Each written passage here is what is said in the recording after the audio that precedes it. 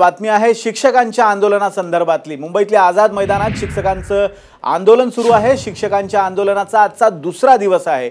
लवकरात लवकर आपल्या मागण्यांवर निर्णय झाला नाही तर मंत्रालयावर धडक मोर्चा काढू असा इशारा आंदोलनकर्त्या शिक्षकांनी दिलाय. प्रचलित नियमानुसार शंभर टक्के अनुदान मिळावं अशी मागणी शिक्षकांनी केली आहे. विना अनुदानित शिक्षकांबरोबरच बातचीत केली आहे आमचे प्रतिनिधी तुषार रुपांवर यांनी.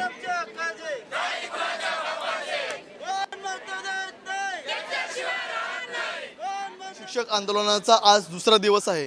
दुसऱ्या दिवशी देखील या ठिकाणी आपल्याला शिक्षक मोठ्या प्रमाणावरती आक्रमक दिसताना पाहायला मिळतात. ही आझाद मैदानावरची दृश्य आहेत आपण पाहू शकता की शेकडोच्या संख्येने हे शिक्षक आपल्याला आझाद मैदानामध्ये बसलेले आहेत आणि सरकार विरोधात घोषणाबाजी करताना पाहायला मिळतात. आज दुसरा दिवस आहे. अजून कोणतीही दखल या ठिकाणी सरकारने घेतलेली नाहीये. आपण आज शिक्षकांशी बोलणार आहोत. काय त्यांची नेमकी मागणी आहे आणि काय त्यांची भूमिका असेल? काय सांगाल तुम्ही? काय तुमची मागणी आहे? आमच्या उच्च माध्यमिक विद्यालयाची जी काही शंभर टक्के निकालाच्या अटीमुळं बरेचसे उच्च माध्यमिक विद्यालये अपात्र झालेले आहेत ते अपात्र होऊ नयेत. यासाठी मागच्या चार पाच दिवसापूर्वी शिक्षक आमदार हे शिक्षण मंत्र्याजवळ गेले होते. शिक्षण मंत्र्यांनी तशा पद्धतीची इंडॉसमेंट दिली होती.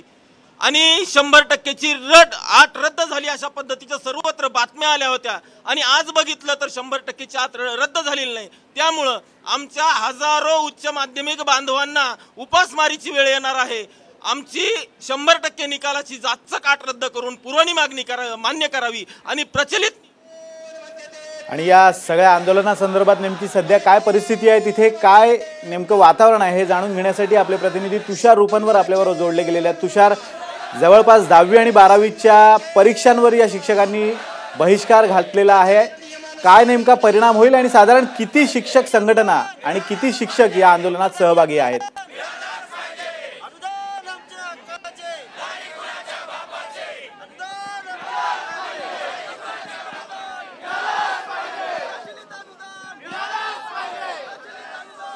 सध्या आझाद मैदानात शिक्षकांचं उपोषण सुरू आहे आणि उपोषणाचा हा दुसरा दिवस आहे. बहिष्कार परीक्षांवर टाकण्याचा इशारा सुद्धा शिक्षकांनी दिला सर्व शिक्षण संघटना एकत्रित झालेल्या आहेत आणि सर्व शिक्षक संघटनेचं एकच मागणी आहे की शंभर टक्के या ठिकाणी अनुदान मिळालं पाहिजे.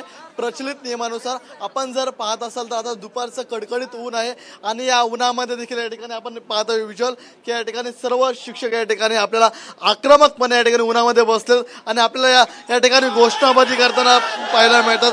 जोपर्यंत आमच्या मागण्या मान्य करत नाही तोपर्यंत आम्ही या ठिकाणी उठणार नाही अशी मागणी या सर्व शिक्षकांकडून करताना पाहायला मिळते.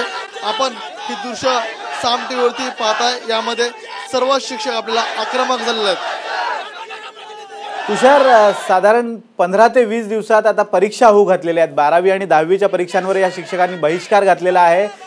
या संदर्भात राज्य सरकार पातळीवर काही हालचाली सुरू आहेत का? शिक्षकांचं शिष्टमंडळ राज्य सरकार किंवा शिक्षण मंत्र्यांना भेटतंय का?